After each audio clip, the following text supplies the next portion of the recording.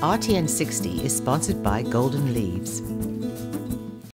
Hello and welcome to RTN's 60 second news roundup.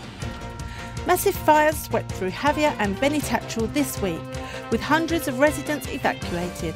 20 houses are feared to have been destroyed and over 100 damaged in what police believe to be an arson attack. Local residents praised firefighters and Guardia Civil who worked tirelessly to contain the fires that were started on Sunday.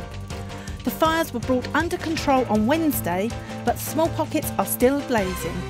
Seaplanes and helicopters were drafted in, bombarding the fire with water. Police have arrested two youths in connection with starting the fires and are hunting other copycat firebugs. The incident has been described as environmental terrorism, destroying over 820 hectares of private and public property and parkland. For more information on this story and more, go to www.roundtownnews.com. RTN 60 is sponsored by Golden Leaves.